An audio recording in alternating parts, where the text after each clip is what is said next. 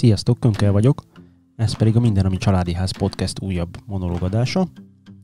Ebben az adásban a tervezői kérdéseket vesszük sorra, azaz azt a kérdés sort, amit én szoktam kiküldeni a megrendelők felé, amikor a tervezői áraját elfogadásra kerül, és kezdetét veheti a tényleges munka.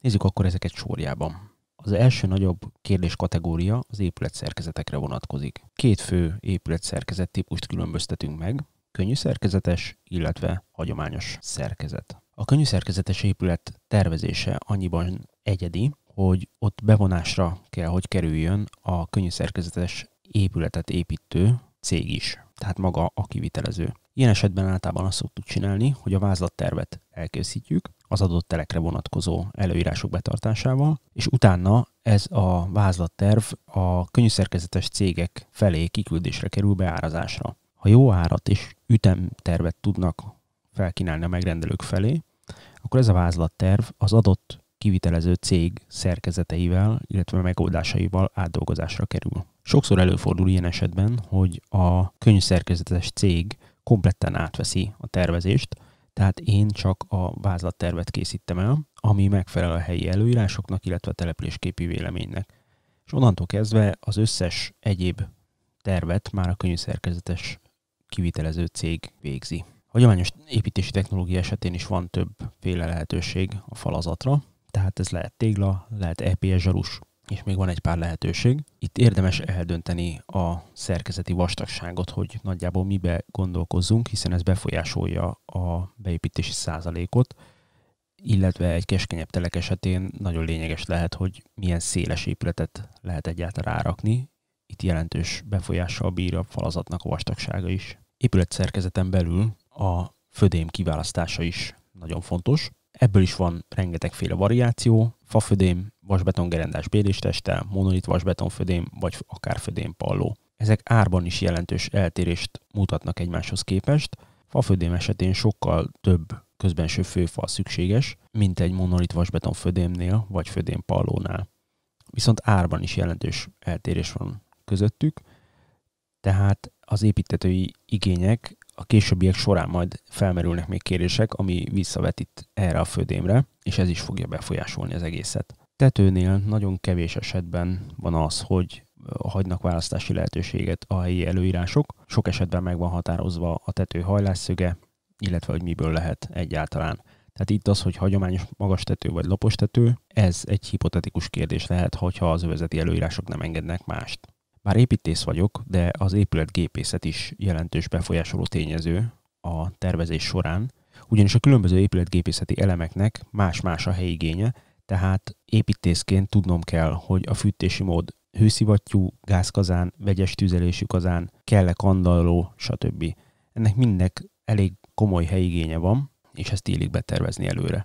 Érdekes lehet az is, hogy lesz-e hűtés, és ha lesz hűtés, akkor mi az elképzelés. A legjobb természetesen a hőszivattyú, az ahhoz kapcsolódó hűtési megoldás, de van, aki például klímát szeretne. Viszont a klíma kültéri egységét nem mindenhol lehet elhelyezni, tehát ez is befolyásolja a tervezést.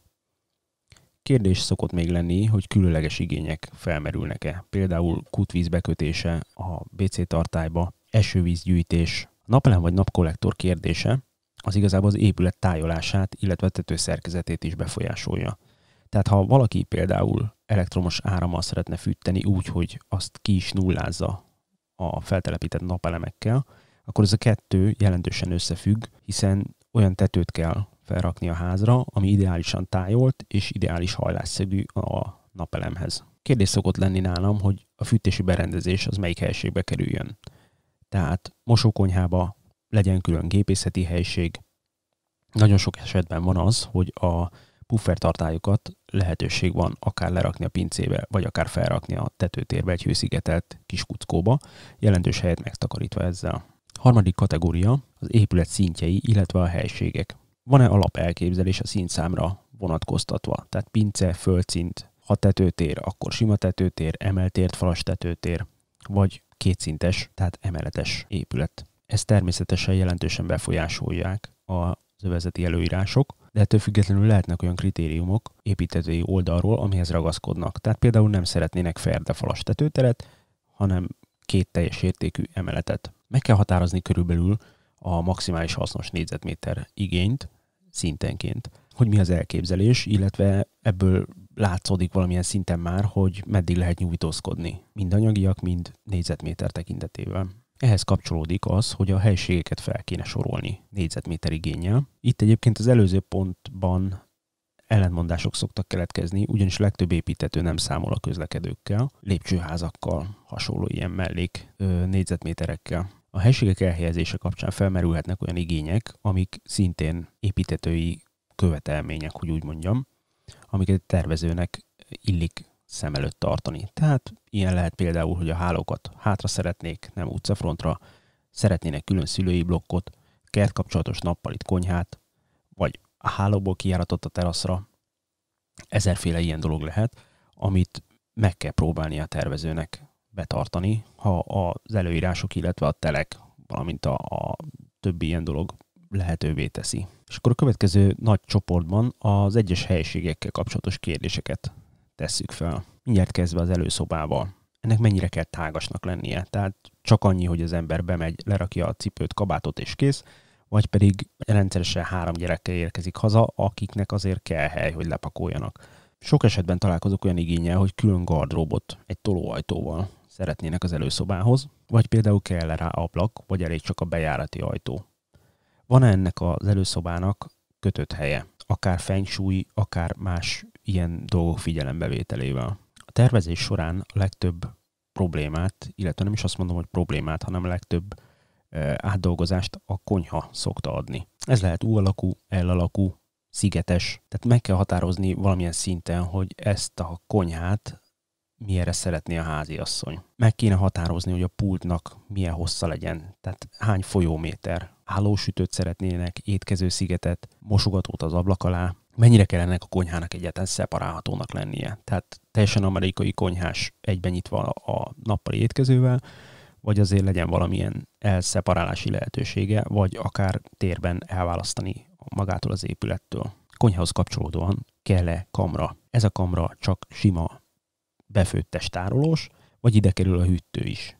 Kell rá egyáltalán ablak? Étkezőnél legfontosabb kérdés, hogy hány személyes asztallal kell számolni, illetve ha vannak időszakosan nagyobb vendégek, azt is jelezni kell, mert egyáltalán nem mindegy, hogy egy hat személyes asztallal számolunk, vagy pedig mondjuk évente kétszer-háromszor van olyan, amikor 15 fő összegyűlik, és kell hely igény arra, hogy ki lehessen nyitni egy ekkora asztalt. Szintén kardinális dolog szokott lenni az, hogy az étkezőhöz kell -e kertkapcsolat. Ez a kertkapcsolat kérdés felmerül a nappalinál is, illetve visszavonatkoztatva a nappali az amerikai konyhás legyen, tehát étkező konyhával egy légteres. Nappalinál érdekes a bútorozottsági igény. Van, akinek sok könyves polca van, vagy nagyobb médiafala, vagy például projektoros kivetítője, U alakú kanapéja. Ezek mind-mind érdekesek lehetnek. Az esetek nagy többségében a nappaliba szokott kerülni a kandaló, ha van egyáltalán kandaló. Ugorjunk át a gardróbra. Ha van kell gardrób, akkor ez öltözős, vagy csak pakolós legyen. Ez alatt azt kell érteni, hogy egy öltözős gardróbnak sokkal nagyobb a helyigénye, és általában kell rá ablak, mert például az ablak alá be van rakva egy, egy sminkasztal, vagy hasonló. Ez a gardrób mihez legyen egyáltalán közel, tehát mosókonyhához, vagy szobák között legyen, vagy szülői blokknál legyen. És akkor a másik nagy kérdés, ami szintén nagyon sokszor kerül átvariálásra, az a fürdőszobák. Itt meg kell határozni az egyes fürdőszobáknak a szaniter igényét, tehát felsorolni tételesen, hogy épített zuhany, sarokkád, simakád, szimpla vagy dupla mosdó, WC, bidé vagy piszoár, esetleg pakolószekrénye törölközőknek. Ezt mindet meg kell határozni, mert mindegyiknek más a helyigénye, és úgy kell betervezni. Kell-e külön WC? Ha kell, akkor mihez legyen közel? Bejárathoz, vagy pedig a nappalihoz, mint egy vendég WC?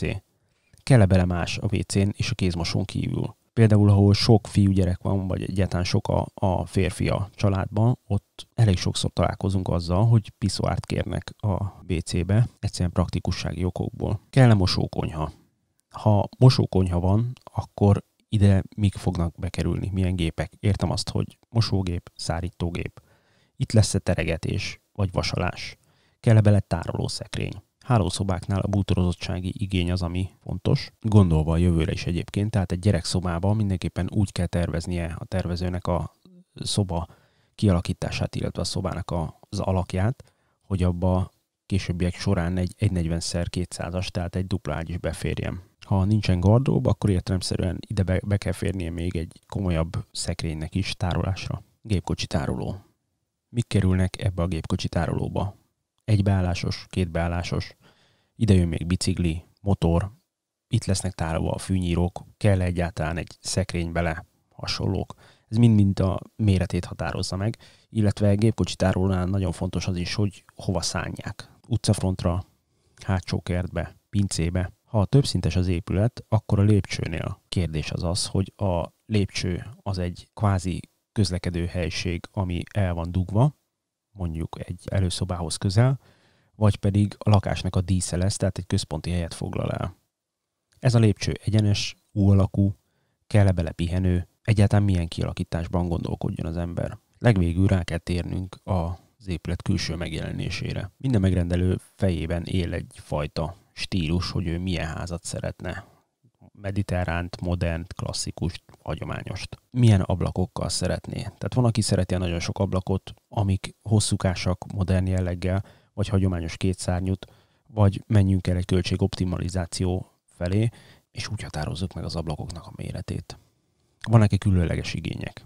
Zöldető, üvegkorlát, kőburkolat a homlokzaton, a ház alakja, van-e valami előzetes elképzelés, minél egyszerűbb legyen például. Vagy legyen tagolt, elalakú, kicsit védve a, a belső udvart a, az utcafrontról, és hasonlók. Ez a rövid kérdéssor segít nekem abban, hogy összerakjak egy vázlattervet. Aztán természetesen nagyon sok visszakérdezés van, illetve ezekre a kérdésekre adott válaszok sok esetben ellentmondanak egymásnak, vagy pedig a telek előírásai kapcsán a megrendelő kompromisszumra kényszerül. Érdemes tehát meghatározni olyan sarokpontokat, amikből az ember nem szeretne engedni.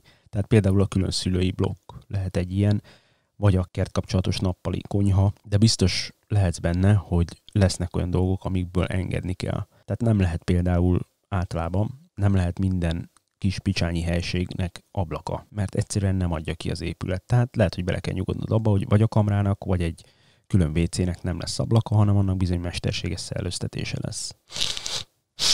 Ennyi volt a mai podcast. Ha tetszett, akkor csatlakozzatok hozzánk a Facebookon, illetve lájkoljátok az oldalamat, iratkozzatok fel a csatornára, találkozunk körülbelül egy hét múlva. Sziasztok!